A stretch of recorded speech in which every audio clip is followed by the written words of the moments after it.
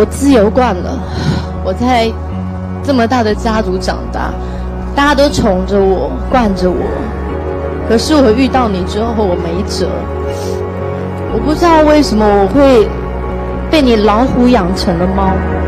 这辈子赢了算你的，输了那一定是我错。当年安以轩的信誓旦旦，如今看起来却让人心疼。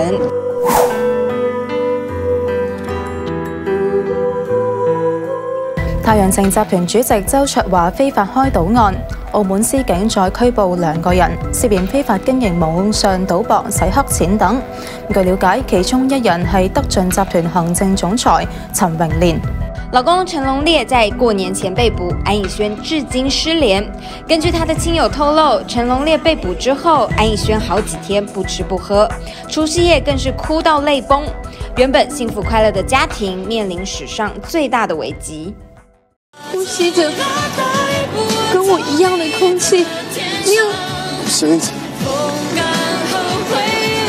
你要听你爸妈的话。我这只燕子只想停在河畔，看着你。如果看不到你，我哪里都不想去，我哪里都不想飞。这是我的命运，这才是我的命运。你们走。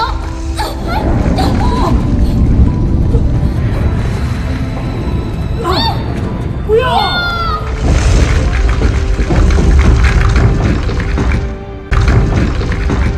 要一起吃到吗？玩到了。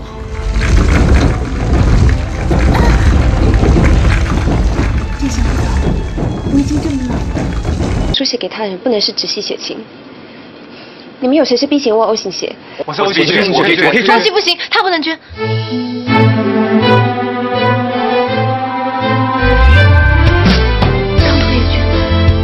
是 B 型血啊，为什么不能捐？我比退还适合。你给我一个理由。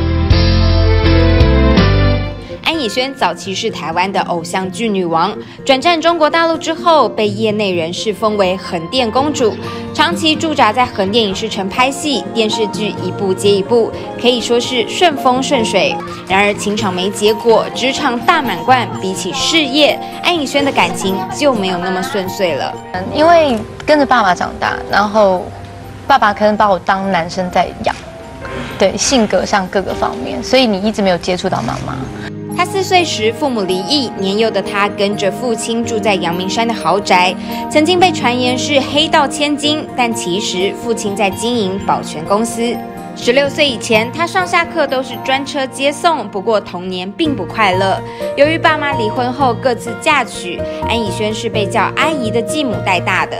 阿姨十分严厉，像是考试不及格，差一分打一下。闹钟响了，他没醒，阿姨就直接开门摔东西。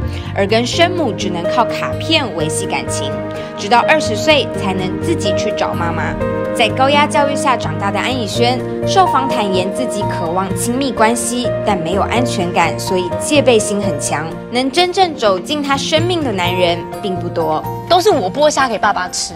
我没有没有人剥虾给我吃过，所以我谈恋爱我就觉得我一定要找一个会剥虾的男人给我。安以轩这一席话是不是相当耳熟？因为大 S 以前也讲过，小杰吃虾我都会给他剥。以往就会，嗯，你知道我从小到大，嗯，都是我爸剥给我吃。嗯，我爸不在之后我就不吃了。我妈就说吃虾一定要是男人帮你剥。遇到成龙恋之前，有传闻安以轩曾经暗恋这位会剥虾的男人汪小菲很多年，还在自己的生日派对抱着对方哭。也就在同场派对，大 S 跟汪小菲一见倾心，四见定终身。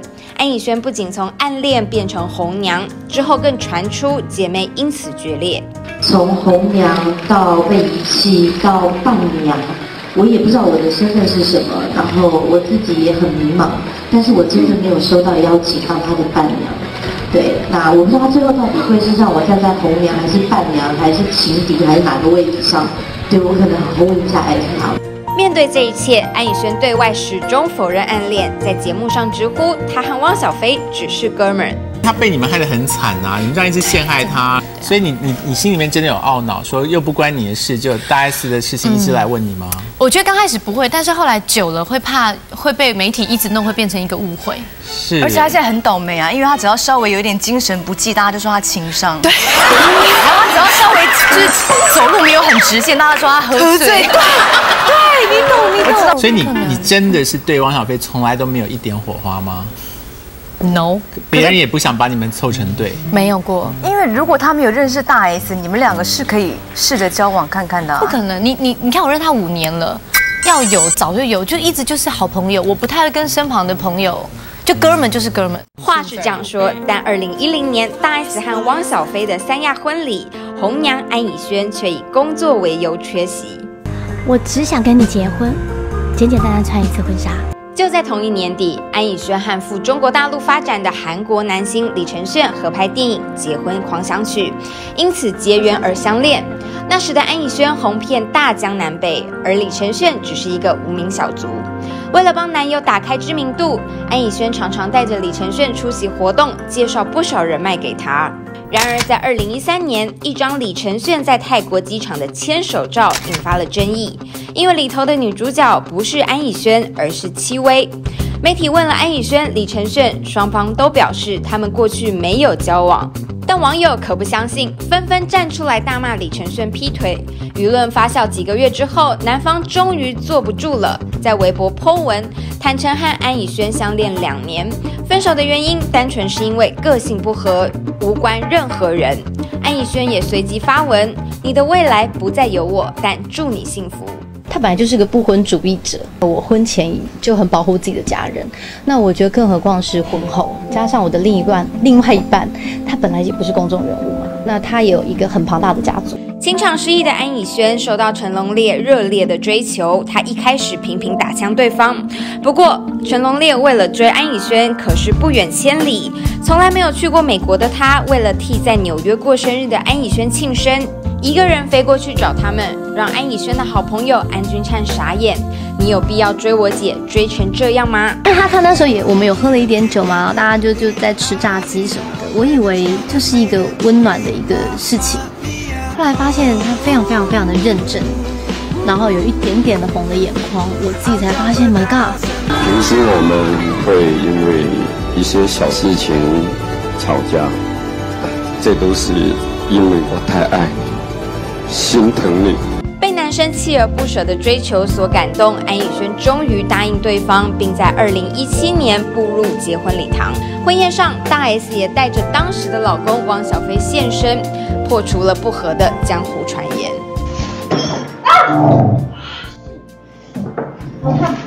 看他紧张擦拭老婆的腿，就知道成龙烈极为宠爱安以轩。老婆怀孕时，除了陪产检，就连涂防妊娠纹的护肤油、剪指甲这种小事都要亲自来。安以轩生下儿子的时候，他更是砸了二十六点五亿新台币买下四户独栋别墅；而在生下女儿之后，他更直接把名下的公司六十七亿的股份都送给老婆。这一切的一切，都满足了安以轩内心的安全感。如今老公被捕入狱，前途未知，他内心所苦可想而知。